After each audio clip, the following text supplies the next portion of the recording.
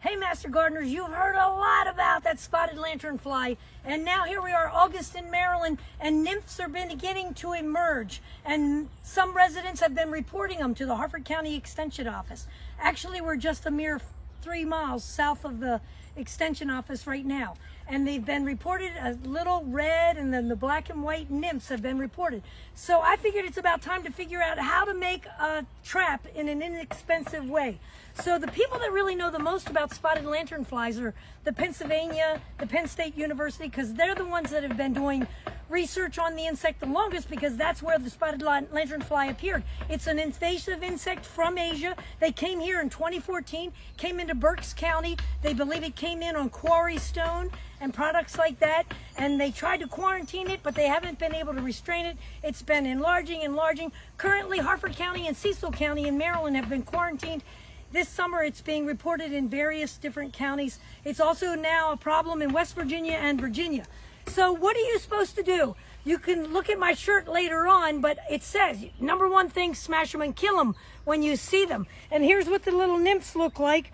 Here uh, you'll see the black ones and there's little red ones on different colors. The adults, the red spots are not so visible on it until they fly. And the truth is they're really not very good flyers at all anyway. They're mostly hoppers. They're very hard to kill, so they're hard to smash, but as best you can, send the neighborhood children after them, smash them and kill them. But if you've got them on a tree, the favorite tree that they like is an Asian invasive tree that we already have in our yards. And in our city, Baltimore City, they're prolific. This is called the tree of heaven. And it has nice smooth bark, which makes it an easy tree for us to use for putting the spotted lanternfly trap. I purchased standardized screening material and I've wrapped a skirt around the base of the tree. I've thumbtacked it tightly the insects tend to fall to the ground and the nymphs begin, oftentimes they fall on the ground and they're going to crawl back up. They're drawn to the light. And so they're going to be drawn inside of my Ziploc bag that I have attached to the trunk of the tree with some Velcro. So they're going to come up inside of my homemade funnel system and I've propped this open with just merely a little stick. The Penn State University recommends you put wire on the skirt to keep it open, but really I've put two different wooden sticks in here that they teach you, and then I just prop it open a little bit. You have to come back and check on it. But it's held open, and they're going to climb up, crawl through my opening up into my bag, up into my bag above. And then once this bag gets full, they're going to remove it. It's just rubber band on there, and she'll be able to take it off, lay it on the ground, and smash it, and put a new bag. How is the apparatus attached to the tree? The niftiest thing I did is I have a nice thin piece of wire that came right through my screening material and I weaved it right through and it's retaining, holding the stick firmly. And so my whole trap is held very securely like that delicate little wire. So you're gonna need at least a two and a half foot piece on that. If you're doing trees that are bigger than the diameter of this one, which is a little bit bigger than nine inches, you might have to put two traps on the tree. But so what? One is better than nothing. So give it a try. And you know something? She's gonna smash and kill her, her bugs that are caught inside of here. But if you're just using some of the other traps that you'll find on the internet, go to the Penn State University. They've got at least two videos how to make these traps. But you can have just a bucket of soapy water. In some of the containers, you're going to catch the insects alive, and you would just shake them into a bucket of soapy water to kill them. So come on over. Let me show you how I made this. If you see spotted lanternflies in Harford County, you need to report them. You go to the MDA website, Maryland. It's mdamaryland.gov. So that's where you're going to go to report. So take a look at that. It's helpful so they can document where the insects are spreading to. All right, come on over and take a look at my my design. Well, it's not my design. This is again from the Penn State. They've got this wonderful publication that'll tell you all the parts that you need. It's called How to Build a New Style Spotted Lanternfly Circle Trap. So this is the circle trap method. So what they recommend is standardized screen. You lay it out. I made a little V at the top of it, laid it so my, and I folded my two sides in. To make life simple, I duct taped them at first to hold them still. After I duct taped them, the hardest part is attaching them to a piece of a milk jug that you've cut from a jug. And I run my hot glue gun down inside of there, and then I I get it nice and hot, and I take my little opening at the top of my screen. I've cut a little hole. I jam my aluminum foil up in there so that my fingers don't get burned from the hot glue. And that helped me to get the screen attached to the side there. Now you're gonna see in the Penn State when they recommend that you put another piece of a milk jug on top and duct tape the two together and insert that up into your Ziploc bag.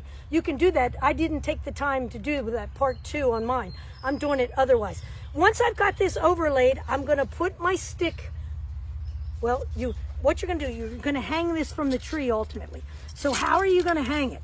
In order to hang it, you're gonna take some slats. I just split these with a hatchet from some spare wood that we had next to the wood stove, stove and I lay it up in the back and I'm going to staple it to the back of the to the plastic jug. Let me give you another tip too. I'm going to staple this on there and I'll get it attached to my milk jug. So that's going to hold support the back of mine. Now let, let me show you another tip. Let me disconnect this. Another tip that I found really handy. They recommended that you just glue the screen on, but look at this. Watch this. Just feed that screen up into a standardized stapler and weave it up under there and you can staple the screening material right to the milk jug lid. And this was super easy to do.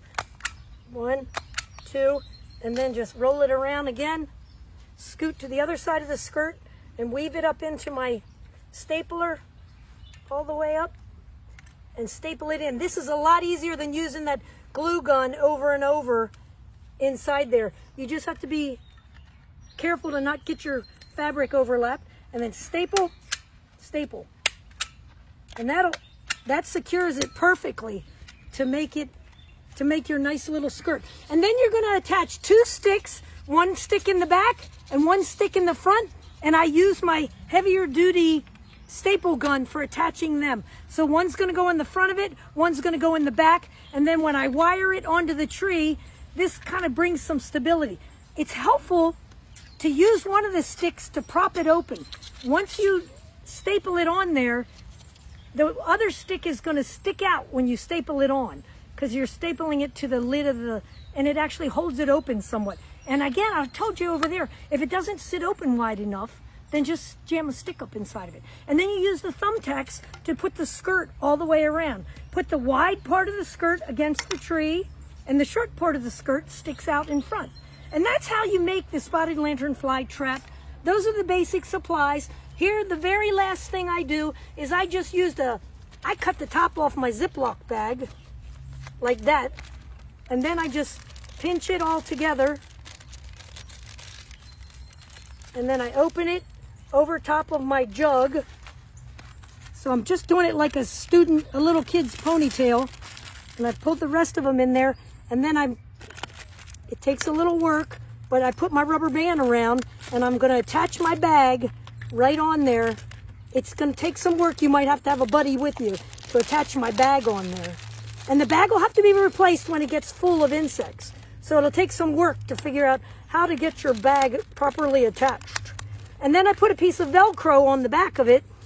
I use these two pieces of Velcro tape to support the bag because even the Penn State Flyer says sometimes the bag tilts over and that can be a problem. So I just Velcroed it to the tree.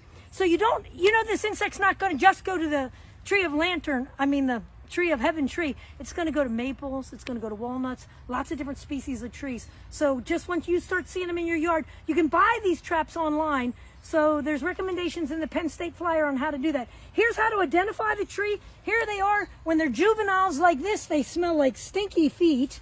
They have large compound leaves. And one of the easy ways to identify is they have a gland on the base of the leaflets. And hopefully you can see this. See that little gland right there? And there's another gland here those little glands and little notches at the base of the leaflet, that's a pretty good indicator that it's not, uh, you can confuse it with black walnut and you can confuse it with sumacs. But that little notch on the base of the leaf is a really super good indicator. And then the stinky smell that occurs on the young juvenile ones. The other thing that I see at this time of the year is look at this bronzing color. I noticed driving here today, this bronze colored foliage. I see that a lot on the tips of the plants. So there you go, Master Gardeners. Spotted lanternfly. Sorry to say, but it might be coming to a neighborhood near you.